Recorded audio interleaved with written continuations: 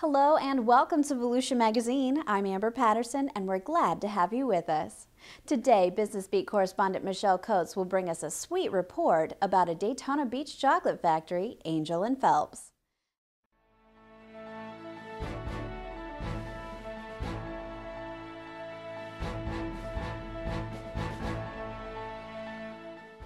I'm Michelle Coats with the Business Beat, and today we're at the top 10 sweetest attractions in the nation, Angell and Phelps on Beach Street.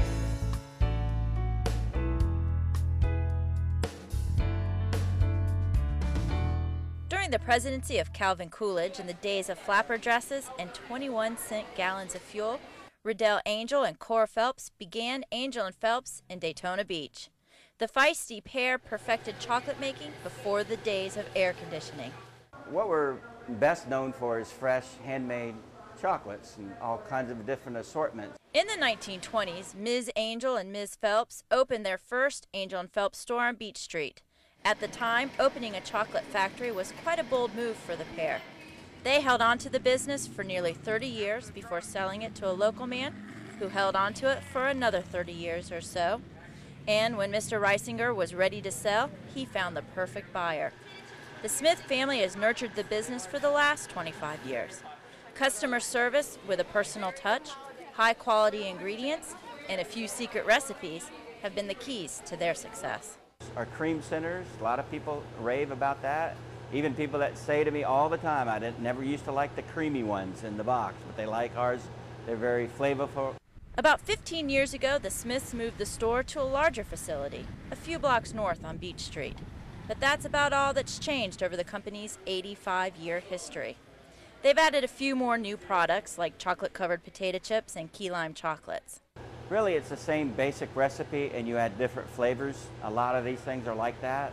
We've added some white chocolate over the years. That was a big uh, thing that people wanted to see more white chocolate, so we actually have a, a peanut butter white chocolate. It's actually it's in a butterfly shape, so we call it peanut butterfly. That long-standing quality was recognized by TripAdvisor.com. The Chocolate Factory was listed ninth on America's top 10 sweetest attractions. The store offers free factory tours Monday through Friday, samples included. What makes us unique is that people can come in and buy pick out their own kind, especially dark chocolates that some people can't get in other places, they can get here. Some of our most popular items, though, is, is the, the chocolate molded items that we make, all kinds of unique shapes, especially when they say Daytona Beach, handwritten on the particular mold. The process itself looks a lot like that famous I Love Lucy episode where Lucy and Ethel were working in a chocolate factory. Except you won't see these employees stuffing their faces, just happy customers in the candy shop. The sights, sounds, smells, and most importantly, the taste of delicious chocolate will overwhelm your senses. At any given time, the store has about 2,000 pounds of chocolate on hand. There are no preservatives or fillers in these recipes, but that's not a concern. This stuff practically flies off the shelves. If you look towards the doorway, you'll find a machine churning white chocolate. The chocolate business is usually very seasonal, but Angell and Phelps, thanks to their free tours, is busy year round. Most of their sales are made to locals, but Smith also reaches out to tourists and chocoholics online.